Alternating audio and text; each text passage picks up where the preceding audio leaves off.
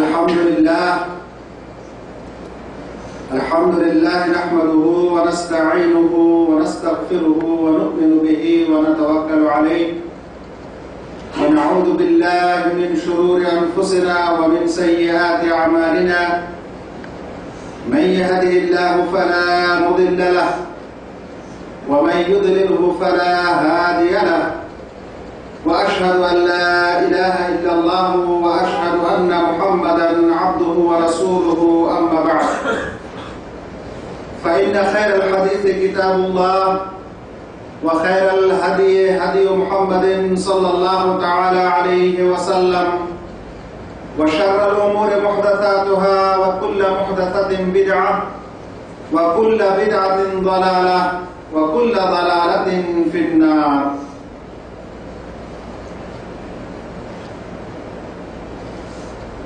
উপস্থিত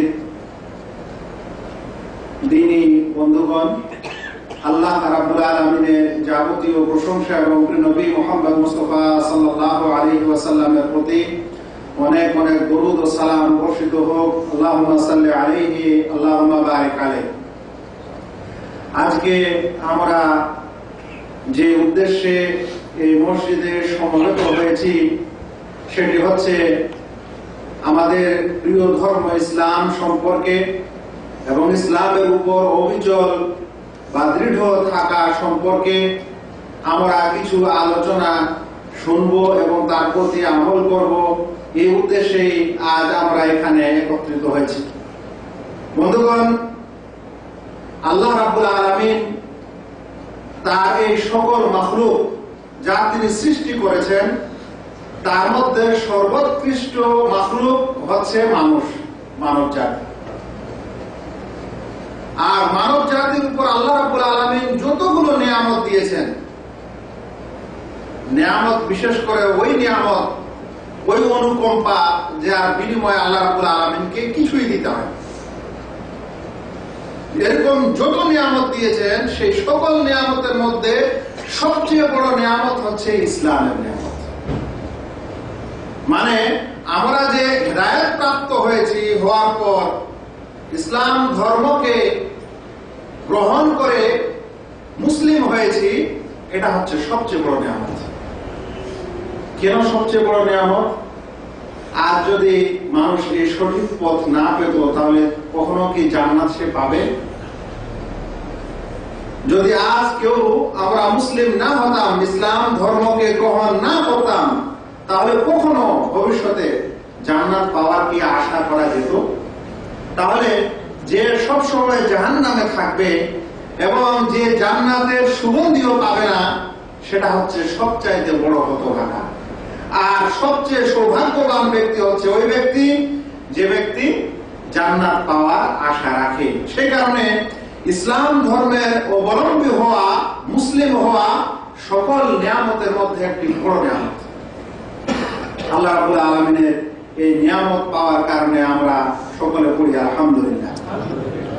বন্ধুগণ আল্লাহ রাবুল আলমিন যখন এই ইসলাম ধর্মকে দিয়েছেন অবতরণ করেছেন নবী মোহাম্মদ মুস্তফা সাল্লাহ আলী ওয়াসাল্লামের প্রতি অতঃপর তিনি বিশ্বের সকল মানুষের প্রতি এই আহ্বান দিয়ে ইসলামের যে ঝান্ডা উড্ডীন করেছেন মানুষকে ইসলামের পথে দাওয়াত দিয়েছেন, আহ্বান করেছেন, সেই ইসলামের প্রতি আল্লাহ রাবুল আলমিন আমাদেরকে অটল থাকার আদেশও দিয়েছেন। আল্লাহ তারা বলছেন তুমি অটল থাকো যেমন আদেশ করা হয়েছে, তাই অটল থাকতে হবে। ইসলামকে জানার পর, মানার পর, ইসলামের অবলম্ব হওয়ার পরের মানে নয় যে আমরা যেমন তাই করব যেমন যা খুশি তাই করব। তার উপর অটল থাকতে হবে। ওইভাবে যেভাবে আমাদের সাহাবাই কাম ছিলেন। আপনারা অনেকে বেলাল রাজি আল্লাহ তালাহর একটি ঘটনা শুনে হবেন। ইসলাম গ্রহণ করার পর তার মালিক যে কষ্ট দিয়েছিল, যে শাস্তি দিয়েছিল, সেটা পৃথিবীর খুব কমই জায়গায় দেখা যায়। ওইরকম নজির খুব কমই আছে যে উত্তপ্ত বালুর মধ্যে, মরুভূমির গরম বালির মধ্যে যদি উটের সাথে রশি লাগিয়ে উটের পায়ে রশি বেঁধে আর একজন মানুষকে সেই রশির সাথে বেঁধে দিয়ে যদি উটকে ধারা করা হয়, আর অমুক সে উত্তপ্ত বালুতে তাকে নিয়ে যদি ছুটে, তাহলে সেই সমস্যাটা এবং সেই কষ্টটা আর সেই দৃশ্যটা কি কম বেদনাদায়ক, কম দুঃখদায়ক? যেটা হয়েছিল আমাদের পূর্বসূরি সাহাবাই রামদের অনেকের উপরে। কিন্তু তারা দিনের প্রতি অবিচল ছিলেন, অটল ছিলেন। ছাড়েননি। এ কথা বলেননি যে, না, আমি কিছুক্ষণের জন্য মুসলিম হয়ে যাই। বলতেন না। কারণ ইসলাম যে সঠিক পথ, যে সঠিক ধর্ম তারা পেয়ে গেছিলেন, সেই স্বাদ এবং তার যে অনুদান আল্লাহ রাবুল আলমিন দিবেন, সেটা কখনোই তারা ছাড়তে চাচ্ছিলেন না, ভুলতে চাচ্ছিলেন না। বন্ধুগণ আজ আমরা দিনের উপর কীভাবে অবিচল থাকি, অটল থাকি, যদি কিছু দৃষ্টান্ত দিই, তাহলে অনেককে হয়তো খারাপও লাগতে পারে, কিন্তু একটু বুঝার জন্য বলি। আমরা অনেকে সৌদি আরবে আসি, এখানে থাকি, এই সমাজে বসবাস করি। অতঃপর দেখা যায়, আলহামদুলিল্লাহ, আমাদের চেহারা ছবিতে দাঁড়িয়ে এসেছে। আমরা পাঁচ ওয়াক্তের সুন্দর নামাজি হয়েছি, কিন্তু যেদিন বাড়ি যাচ্ছি, সেদিন এয়ারপোর্টে যাওয়ার আগেই সব চেয়েছে চলে যাচ্ছে। এটাকে দিনে অভিযোগ থাকা বলে, এটাকে দিনে অটল থাকা বলে। এখানে আসার পর কিছু কেতাব, কিছু বই পাচ্ছি, বাংলা অনুবাদ, কোরআন শরীফ, কিছু আরও সুন্দর সুন্দর বাংলায় বই। জিজ্ঞাসা করছে যে, হুজুর, এগুলা কি নিয়ে দেশে যাওয়া যাবে? আপনি আপনার প্রিয় ধর্ম ইসলামের সবচেয়ে মহাগ্রন্থ আল কোরআন, আল্লাহর পক্ষ থেকে অবতীর্ণ করা বই। সেই কেতাব, সেই হৃদায়তের কিতাব আপনি নিবেন, তার অনুবাদটা বাংলায় নিবেন, এটা আবার ভয় কিসের? যদি কোনো মানুষকে এই কারণে এয়ারপোর্টে ধরেও ফেলে, তাহলে কি আমাদেরকে কোরআন ছেড়ে দিতে হবে? ইসলামের এই সকল সহি জিনিস বাদ দিয়ে ফেলে দিয়ে চলে যেতে হবে? কিন্তু মানুষের মধ্যে আতঙ্ক। মানুষের মধ্যে একটা অযথা ভয়। এটা হচ্ছে দিনে অবিচল থাকা নয়। দিনে অটল থাকা এটা নয়।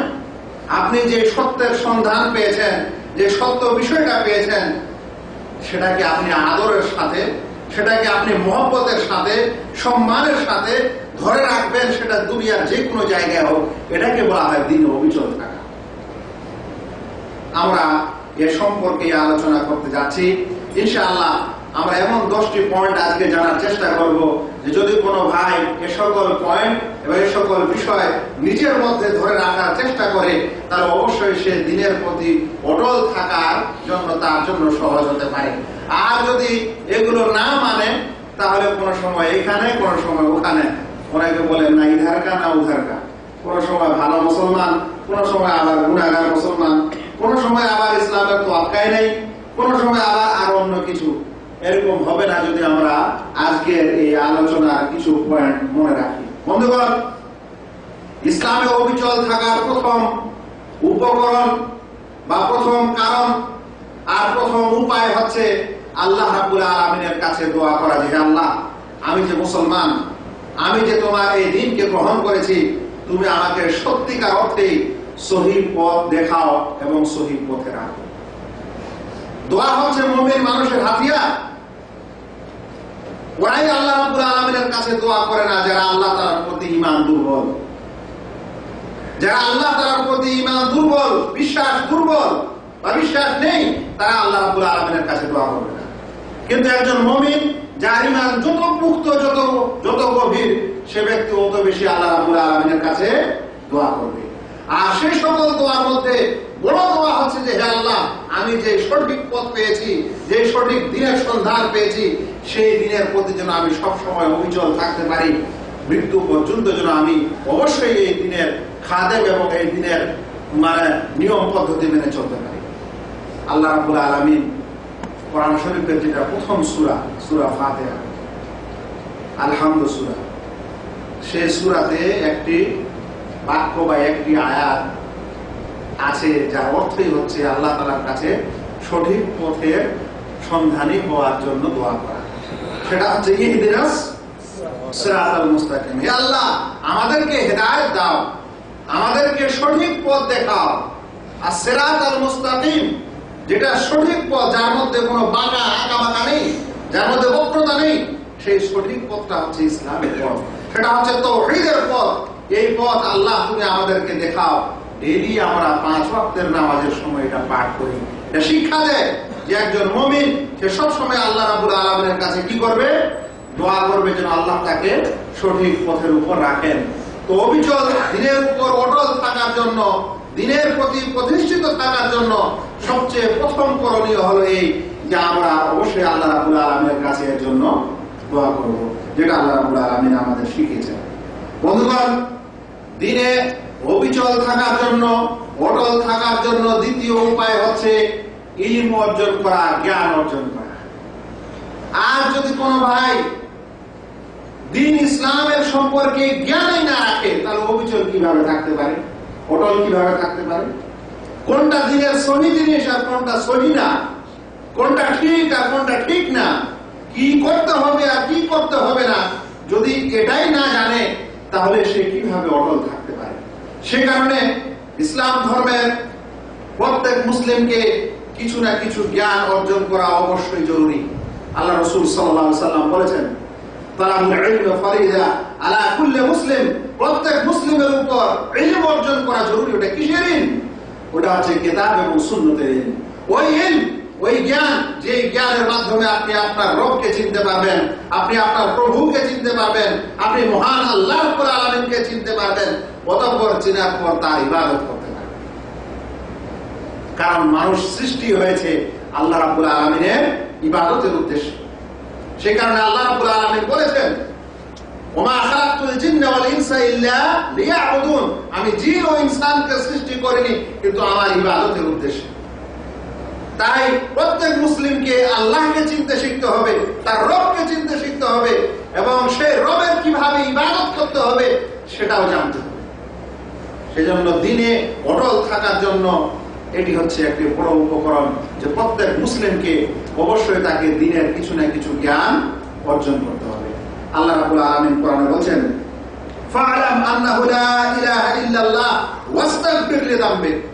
অতঃপর তুমি জেনে নাও যে আল্লাহ ছাড়া সত্য কোনো উপাস্য নেই।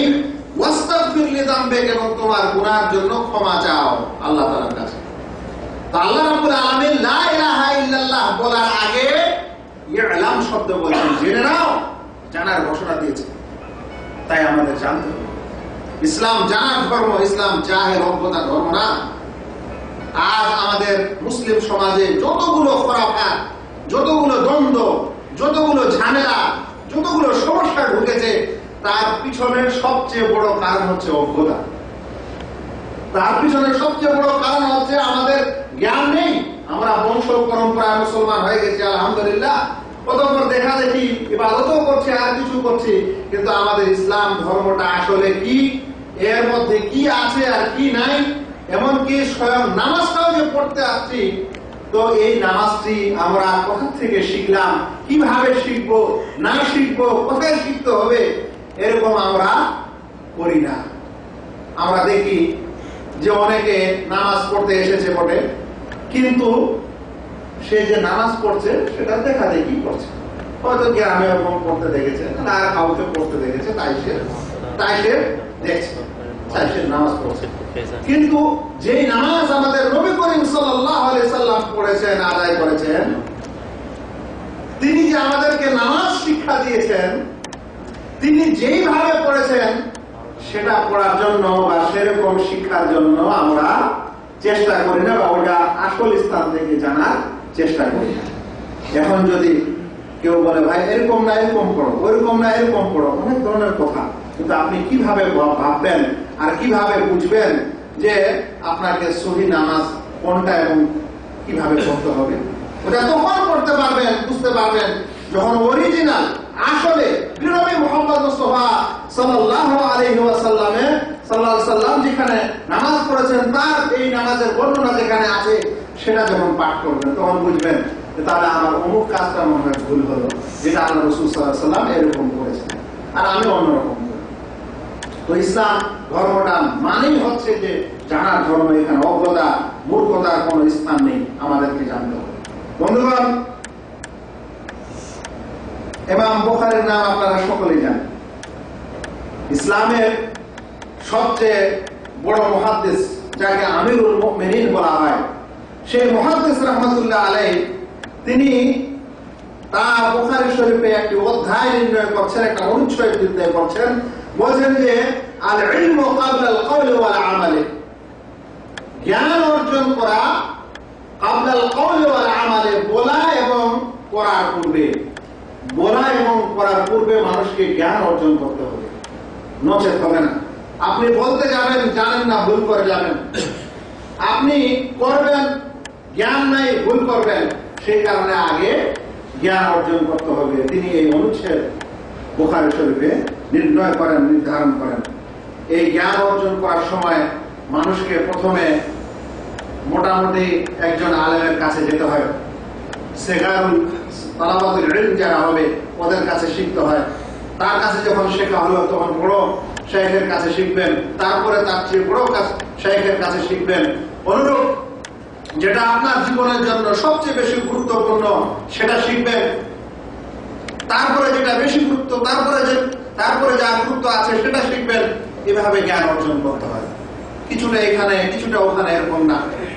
যেটা আপনার জন্য, আপনার দিনের জন্য, আপনার ব্যক্তিগত জন্য, আপনার সমাজের জন্য, আপনার পরিবারের জন্য। আর বিশেষ করে আল্লাহ রাব্বুল আলামিনের সহি ও শুদ্ধভাবে ইবাদত করার জন্য যেটা প্রয়োজন, সেই জ্ঞান আগে শিখতে হয়। তারপরে অন্য ধীরে ধীরে তখন শিখতে হয়।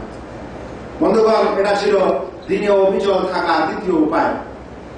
তৃতীয় উপায় হচ্ছে তওবা ও ইস্তেগফার করা। ভালো মুসলিম হয়ে দুনিয়াতে বেঁচে থাকতে চান, তাহলে অবশ্যই যেটা আল্লাহ রাব্বুল আলামিনকে খুশি করে, সেই কাজটা আপনাকে করতে হবে। কোন মানুষ গুনাহে লিপ্ত থাকবে, গুনাহ করার সে অন্তরে আশা রাখবে, গুনাহ করে মজা পাবে, আর আল্লাহ রাব্বুল আলামিনের সন্তুষ্টি অর্জন করতে চাইবে, একসাথে এই দুটা হয় না। সে কারণে দিনে অবিচল থাকতে হলে হলে এবং দিনের উপর অটল থাকতে হলে সহি শুদ্ধ ভাবে ভালো মুসলিম হয়ে বেঁচে থাকতে হলে অবশ্যই তওবা ও ইস্তেগফার করতে হবে। এই তওবা ও ইস্তেগফার মানুষ নিজের যত বড়ই গুনাহ হোক না কেন, সে সকল গুনাহ থেকে তৌবা করে। আল্লাহ তাআলার কাছে খালেস মনে খাদি মনে তৌবা করে। লজ্জিত হয়ে, বিনম্রিত, বিনম্র অবস্থায় আল্লাহ রাব্বুল আলামিনের কাছে, লজ্জাশীল অবস্থায় আল্লাহ রাব্বুল আলামিনের কাছে যদি ক্ষমা চাওয়া হয়, তাহলে অবশ্যই আল্লাহ রাব্বুল আলামিন তা সেই তৌবাকে তা সেই দোয়াকে কবুল করে। অতঃপর যখন সে মানুষ, তারপর যখন সে মানুষ, আবার নতুন করে ইসলামের কাজগুলো শুরু করে বলা হয়েছে যে তার কোনো গুণা নেই, তখন সে নিষ্পাপ হয়ে যায় এবং হওয়ার পর সে আবার নতুন করে একজন ভালো মুসলিম হয়ে জীবন যাপন শুরু করতে পারে। মনে রাখবেন, এই তৌবা আল্লাহ রাব্বুল আলামিন বারংবার করতে বলেছেন। আল্লাহ তাআলা বলছেন, ওয়া তুবু ইলাল্লাহি জামিয়া তোমরা সকলে আল্লাহ রাব্বুল আলামিনের দিকে ধাবিত হও, তওবা করো। আল্লাহ রাব্বুল আলামিনের কাছে তওবা করো। আইয়ুহাল মুমিনুন, হে সকল মুমিন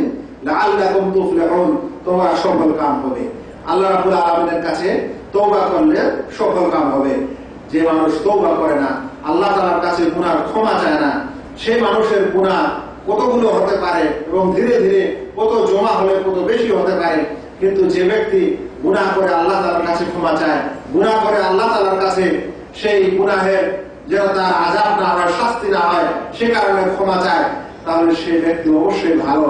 ওই ব্যক্তি থেকে যে ব্যক্তি সবসময় গুণা করে, কিন্তু আল্লাহ রাবুল আলমের কাছে কোনো ক্ষমা চায় না। দিনে অবিচল থাকার আরেকটি উপায় হলো পাঁচ ওয়াক্তের নামাজ আদায় করা। বন্ধুগণ, এই পাঁচ ওয়াক্তের নামাজ মানুষকে যেমন এক মসজিদে একত্রিত করে যেমন তাদের গুণাগুলিকে ধীরে ধীরে ধুয়ে শেষ করে দেয়। নবী মোহাম্মদ মুস্তফা সাল্লাল্লাহু আলাইহি ওয়াসাল্লাম একথা বলছেন যে, আর আইতুল্লাহ আন্না নাহারান বিবাবে তোমাদের কি মনে হয়?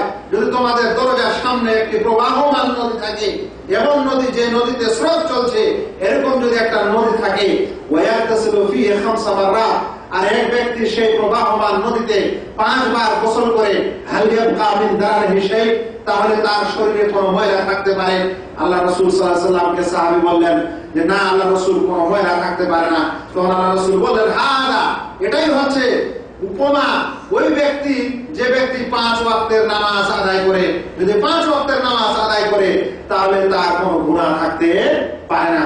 যে ব্যক্তি নামাজি হয়, সে ব্যক্তি কোনো গুনার কাছে যাওয়ার আগে তার অন্তরটা একবার ধাক্কা দেয় যে আমি নামাজ পড়ি, কিন্তু এখন যদি এই কাজটা করি, তাহলে কোন মুখে আমি মসজিদে যাব?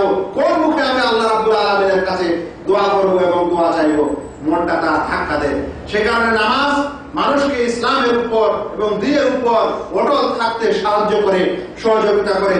বন্ধুগণ নামাজ সেই আমল যার সম্পর্কে স্বয়ং আল্লাহ রাব্বুল আলামিন বলেন ইন্নাস সালাতা তানহা আনিল ফাহশাই ওয়াল মুনকার। অবশ্যই নামাজ মানুষকে বিরত রাখে, খারাপ কাজ থেকে, নোংরামি থেকে। তাই দিনে অবিচল থাকার জন্য নামাজ একটি বড় উপায় এবং বড় উপায় উপকরণ। এটা আমাদের সবসময় মনে রাখা দরকার। যারা আজ নামাজে আসে না, তারা অনেক কিছু কল্যাণ থেকে দূরে থাকে। নামাজ হচ্ছে আল্লাহ এবং বান্দার মাঝে সংযোগ স্থাপন করার একটা মাধ্যম। বান্দা যখন সাজদা করে, তখন আল্লাহ সবচেয়ে বেশি নিকটবর্তী। হয় নামাজে সে বারংবার সিরাতাল মুস্তাকিম বলে। সে রুকুতে আল্লাহ রাব্বুল আলামিনের মহত্ব প্রকাশ করে, সে সাজদায় আল্লাহ রাব্বুল আলামিনের বড়ত্ব প্রকাশ করে। সে তাশাহুদে আল্লাহ রাব্বুল আলামিনের কাছে ক্ষমা চায় প্রিয় নবী সাল্লাল্লাহু সাল্লামের প্রতি দরুদ পাঠ করে। এভাবে আল্লাহ রাবুল আলমের সাথে একটা বন্ধন সৃষ্টি হয় এই নামাজের সময়। কিন্তু যারা নামাজ পড়ে না, বলেন তো ভাই, যে মানুষ নামাজ পড়ে, তার গুণা খাতা তার আবেদন, নিবেদন, সে তখনই মসজিদে আসে, নামাজ পড়ে দূরে কাজ নামাজ পড়ে, একামত এবং আজানের মাঝে দোয়া করে, নামাজের মাঝে দোয়া করে, নামাজের শেষে দোয়া করে, তার সম্পদে দোয়া করে, কিন্তু যে ব্যক্তি মসজিদে আসলো না, সে কখন দোয়া করে? তখন সে কখন দোয়া করবে? যদিও দোয়া সব সময় করা যায়, কিন্তু দোয়া করার ফুরসত হবে না। দোয়া করার সুযোগ হবে না সেই ব্যক্তির কাজ করার সময় দোয়া করবে, ঘুম পাওয়ার সময় দোয়া করবে সেই ব্যক্তি। না টেলিভিশন দেখবে? তো নামাজ হচ্ছে একটি এমন বন্ধন, এমন উপায় যে যেটা মানুষকে ইসলামের উপর অবিচল রাখার এবং অটল রাখার একটা বড় উপায়, উপক্রম। বন্ধুগণ ইসলামের প্রতি অবিচল রাখার আর একটি উপায় হচ্ছে সৎ সঙ্গী গ্রহণ করা, ভালো বন্ধু গ্রহণ করা। মনে রাখবেন, বন্ধু যে মানুষের খারাপ হয়, সাঙ্গ যে মানুষের খারাপ হয়, সে মানুষ খারাপই হয় সাধারণত। সঙ্গ ভালো হলে সে মানুষ ভালো হয়, সঙ্গ খারাপ হলে সে মানুষ খারাপ হয়। আপনারা সকলে জানেন যারা এখানে এসেছেন বা থাকেন, আপনি প্রথম যে বন্ধুটাকে পেয়েছেন সে যেমন হয়েছে আপনিও ধীরে ধীরে তেমন হয়েছেন। যদি আপনার প্রথম রুম পার্টনারটা ঘরের নামাজি হয়, তাহলে আপনি আসার পর ভাবেন যে ও, নামাজ পড়তে যাচ্ছে, আমিও যাই ও আপনাকে নিয়ে আসে। কিন্তু যদি ও বেনামাজি হয়, তাহলে আপনি নামাজি হলেও ধীরে ধীরে বেনামাজি হতে হয়। যদি আপনি সেই সঙ্গটা তাস খেলার লোক পান, গ্রাম খেলার লোক পান, জুয়া খেলার পান, তাহলে ওর সাথে সাথে ধীরে ধীরে আপনি ওই কাজে লিপ্ত হয়ে যাবেন। এটাই দেখা গেছে। সেই কারণে সঙ্গ আপনার বন্ধু অবশ্যই ভালো হতে হবে। আল মারু আলা দিনে আল্লাহ বলছেন যে আল মারু আলা দিনে মানুষ তার বন্ধুর দিনের স্বভাবই হয় বন্ধু স্বভাবই হয়। বন্ধু যেরকম হয়, তার বন্ধু সেরকম হয়। আপনি কি দেখেছেন কোনদিন একজন ভালো আলেম শেখ শেখুল হাদিস? তার বন্ধু একজন ডাকাত। চোর, দেখেছেন? কোন চোরের বন্ধু কোনদিন হাফেজ বড় ভালো আলেম দেখেছেন? হয় না? যে যেমন হয়, তার বন্ধু তেমনই হয়। নচেত বন্ধুত্ব হয় না। আপনি যেটা পছন্দ করেন, আপনি যেটা ভালোবাসেন আপনার বন্ধু যেটা ভালোবাসে, তাহলে আপনাদের মধ্যে বন্ধুত্ব হবে। আর আপনি একটা করবেন, আপনি এটা ভালোবাসবেন আর বন্ধু এটা করবেন এটা ভালোবাসবেন দুজনের মধ্যে কি আর বন্ধুত্ব হয় না? প্রথমে ধরে মারপিট হবে, ঝামেলা হবে। তো বন্ধু মানে এক অপরের কথা এবং কাজে মিল থাকে নচেত থাকে না। তাই বন্ধু চয়ন করতে হবে ভালো করে সৎকর্ষ হতে হবে। এরকম আপনার সন্তান ছেলে পেলেদেরও হতে হবে। যেমন নিজের হতে হবে, তেমন আপনার ছেলে পেলেরও হতে হবে। যদি আপনার বাচ্চার বন্ধু খারাপ হয়, তাহলে আপনার বাচ্চাও খারাপ হবে। আল্লাহ রসুল সাল্লাম একটি সুন্দর উপমা দিয়েছেন এই বিষয়ে। বলছেন সৎসঙ্গ আর অসৎ সঙ্গর উদাহরণ হচ্ছে আদর বিক্রয়কারী এবং কামারের হাকরের নেই বলছেন সৎসঙ্গের উদাহরণ হচ্ছে আতর বিক্রয়কারীর মতো। আতর বিক্রয়কারীর সৎ, ভালো, কেন? বলছেন, যদি কাছে যাও তো সুগন্ধি পাবে। সুগন্ধিকে তো ধরে রাখতে পারবে না আতরওয়ালা তাহলে কাছে গেলে আপনি সুগন্ধি পেয়ে নিলেন আরও যদি কাছে যান, তাহলে ফ্রিতে একটু পেয়ে যাবে যে কোনো আতরওয়ালা, ওরা মানুষকে আতর বিক্রি করার জন্য হোক বা আর কিছু কারণে হোক, কাছে গেলে একটু করে আতর লাগাই দেয়। ওর জন্য কি টাকা নেই? ওর জন্য কোনো টাকা নেই, ফ্রিতে দেয়। তো বলছেন, কাছে গেলে সুগন্ধ পাবে, আরও কাছে যদি যাও, তাহলে ফ্রিতে একটু আপনাকে লাগাই দেবে। আপনার শরীরে সুগন্ধে চলে আসবে। আর যদি কিনে নেন তার কাছ থেকে ক্রয় করে নেন আতর, তাহলে ভালো জিনিসই ক্রয় করলেন। আর বলছেন অসৎ সঙ্গ খারাপ সঙ্গের উদাহরণ হচ্ছে কামারের হাপর কামার, যারা লোহা পিটায়, লোহা পিটিয়ে লোহাকে ঠিকঠাক করে। যদি কাছে যান, তাহলে দুর্গন্ধ লাগবে। মোচা লোহাকে পিটালে সুগন্ধি বের হবে কি? দুর্গন্ধ লাগবে। সেখানে ধোঁয়া বের হবে। এই ধোঁয়া আপনার চোখে মুখে লাগবে। আরও যদি কাছে যান লোহাতে বাড়ি মারার সময় এই গুলো গুলো যেগুলো এদিক ওদিক করে, সেগুলো লাগবে আপনার শরীরে, পড়তে পারে পারে। এই উপমাটি নবী সাল্লাহ সাল্লাম দিয়েছেন, একটি বাস্তব উপমা, সৎসঙ্গ এবং অসৎসঙ্গের সম্পর্কে। যে যারা সৎসঙ্গটা হলো আতরওয়ালার মতো, আর অসৎসঙ্গটা হচ্ছে কামারের হাপরের মতো। সে কারণে প্রত্যেক ভাইকে ভাইয়েরা প্রয়োজন যে সে যেন তার সঙ্গী, তার সাথী, তার বন্ধু ভালোভাবে চয়ন করে হয় সে আপনাকে খারাপ করতে পারে মোচে আপনাকে ভালো করতে পারে। আল্লাহ তালার একটি আয়াতের সম্পর্কে শুনে নেন। কেমতের দিনে কেউ এক অপরের দিকে খেয়াল করবে না, নজর করবে না। তবে ভালো বন্ধু আপনার কাজে দিবে। মোত্তাকি মানুষ আপনাকে কাজে দিবে। আল্লাহ তালা বলছেন আল আখিল্লাউ ইয়াউমাইদিন বা'দুহুম লিবা'দিন আদুওয়ান ইল্লাল মুত্তাকুন। যে আল আখিল্লা খালিল, বন্ধু। ওই যে বন্ধুরা সেদিন এক অপরের শত্রু হবে। কে আমাদের দিনে কোনো বন্ধু আপনার বন্ধু হয়ে আসবে না। সবাই শত্রু হবে, শত্রুতা প্রদর্শন করবে। বলছেন, ইল্লাল মুত্তাকুন, কিন্তু মুত্তাকি ব্যক্তিদের মধ্যে বন্ধুত্ব থেকেই যাবে। সেজন্য আপনার যে বন্ধু হবে, দুনিয়াতে যদি মোত্তাকি হয়, তাহলে আখেরাতেও সে আপনার কাজে দেবে, আপনার লাভ হবে। কিন্তু যদি দুনিয়াতে খারাপ হয়, তো দুনিয়া তো খারাপ করল করল আখেরাতেও আর চিনবে না শত্রুই বেশি হবে। সুরা জোখরফের সাতষট্টি নম্বরে আয়াতে এই আয়াতটি বর্ণিত হয়েছে। বন্ধুগণ, দিনে অবিচল থাকার আরেকটি উপায় হচ্ছে আমাদেরকে আমাদের অঙ্গ প্রত্যঙ্গকে হারাম কাজে লিপ্ত করা থেকে দূরে থাকতে, দূরে রাখতে হবে। আল্লাহ রাব্বুল আলামিন যে অঙ্গ প্রত্যঙ্গ আমাদেরকে দিয়েছেন, যে শারীরিক নিয়ামত দিয়েছেন, এগুলো যেন আমরা অন্যায় এবং অত্যাচারে লিপ্ত না করি, মন্দ কাজে যেন আমরা বেহত না, মন্দ কাজে যেন আমরা ব্যয় না করি। আল্লাহ রাব্বুল আলামিন আমাদেরকে মুখ দিয়েছেন, জিহবা দিয়েছেন দিয়েছেন কথা বলার জন্য। এর মানে এটা নয় যে মানুষ মিথ্যা বলবে, এর মানে এটা নয় যে মানুষ চুগলি করবে, এর মানে এটা নয় যে মানুষ গিবত করবে। চুগলি করার পর দুই লোকের মধ্যে ঝগড়া বাজিয়ে দিবে, গিবাত গিবত করবে, পরনিন্দা করবে, করার পর সমাজ এবং সেই বৈঠককে নোংরা করে দিবে। আমাদেরকে এই জিহবা হেফাজত করতে হবে। আল্লাহ রসুল সাল্লাম বলেছেন, যে ব্যক্তি তার দুই দাড়ির মধ্যে যা আছে আর দুই উর মধ্যে যা আছে এই দুটির গ্যারান্টি দিবে, আমি তাকে জান্নাতের গ্যারান্টি দিচ্ছি। দুই দাড়ি মানে হচ্ছে মোচ এবং দাড়ি। এর মাঝে কি আছে? মুখ আছে এবং জিহবা আছে। আর দুই উর মাঝে লজ্জাস্থান আছে। আল্লাহ রসুল বলছেন, যে ব্যক্তি এই দুটির গ্যারান্টি দিবে মানে এই দুটিকে সে খারাপ কাজে রাখবে না। তার জন্য আমি জান্নাতের গ্যারান্টি দিচ্ছি।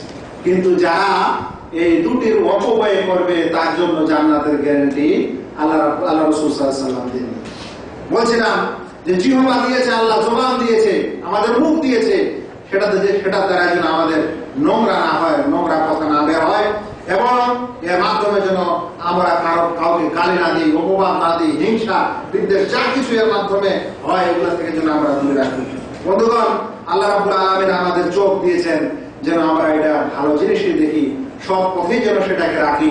এরকম নয় যে কাজের সময় যতটুকু আমাদের প্রয়োজন, আমরা এদিক ওদিক ঠিকই ভালো থাকলাম, যখনই ঘরে আসি তখন টেলিভিশনের যাবতীয় নোংরা প্রোগ্রাম খুলে একটার পর একটা দেখতেই আছি আর আনন্দ পেতেই আছি যদি এরকম হয়, তাহলে দিনে অবিচল থাকা যায় না। আজকাল সবচেয়ে বড় সমস্যা একজন মানুষকে এই দিনের রাস্তা থেকে দূরে সরানো সবচেয়ে বড় সমস্যা আর সবচেয়ে বড় খারাপ জারিয়া ওসিলা হচ্ছে এই সকল টিভি এবং ইন্টারনেট। একজন মানুষ, একটা পরিবেশ ছিল, আপনারা নিজেই জানেন। আজ থেকে বিশ পঁচিশ বছর আগে আপনারা আমরা যখন